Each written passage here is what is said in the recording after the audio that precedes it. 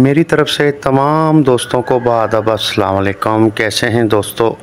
हकीम इत्तफाक हुसैन आपकी खिदमत में हाजिर है।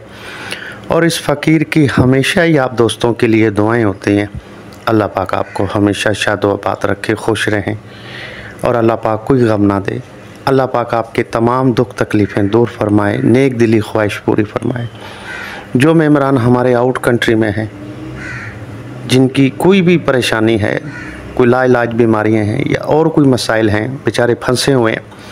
अल्लाह पाक इनकी तमाम मुश्किल हल फरमाए। आमीन। आप भी दोस्तों आमीन कह दें। हर इलाज एच एम चैनल आप दोस्तों की खिदमत में हाजिर है। इस पर रूहानी और यूरानी दोनों तरीके से हेल्प की जा रही है।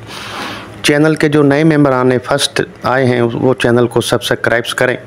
जो मेम्बरान हमारी पुरानी वीडियो से फ़ायदा हासिल करना चाहते हैं, नीचे मेरी पिक है, हुसैन लिखा हुआ है, वहाँ क्लिक करें हमारा पूरा ख़जाना, तमाम वीडियोस आपके सामने आ जाएँगी। घर बैठे अपने अपने दोस्तों का हर मसाइल का हल कर सकते हैं।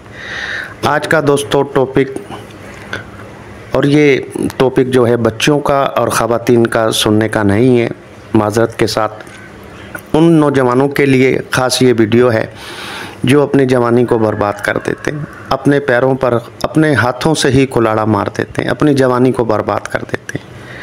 शब रात आने से पहले पटाखे ख़त्म कर चुके ऐसे दोस्तों के लिए, ऐसे बच्चों के लिए, ऐसे जो जो बेचारे अपने आप को तबाह कर चुके हैं तो उनके लिए ये आज का बेहतरीन नुस्खा है। तैयार मिलेगा, आप बनाएँ, हमें दुआओं में याद रखें। दोस्तों, आपकी दुआएँ हमें चाहिए और हमारे पास जो भी आजमुदा नुस्खे हमारे बुज़ुर्गों के होते हैं और हम पाँच साल से मुसलसल आपको दे रहे हैं, आप बस आप दुआओं में हमें याद रखें।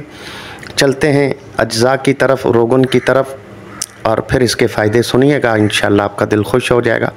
आपने दोस्तों, सबसे पहले रोगन मालकंगनी ले लें आप। रोगन मालकंगनी।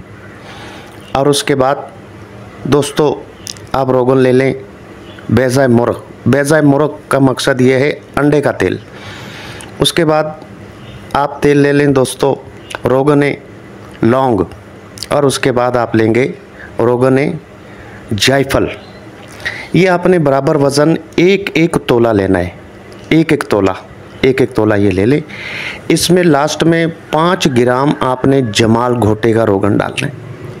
रोगन है जमाल घोटा, वो इसमें ऐड कर दें, इनको अच्छी तरीके से मिलाएँ और धूप में इसे रख दें दो दिन, बस। ये वो तल्ला तैयार होगा। सूरज की रोशनी से वो तल्ला तैयार होगा। इन आप हमें दुआ करेंगे कि हकीम साहब आपने कोई नुस्खा बताया।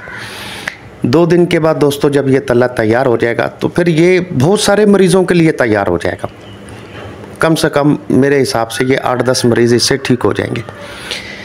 तो आप इसका तरीक़ाकार ये, इसके चार से पाँच कतरे आप अगला हिस्सा छोड़ दें, नीचे पेशाब की नाली छोड़ें, साइडों में, सेंटर में, और पीछे जड़ वाली जगह पे इसे मिसाज कर दें, हल्के हाथ से।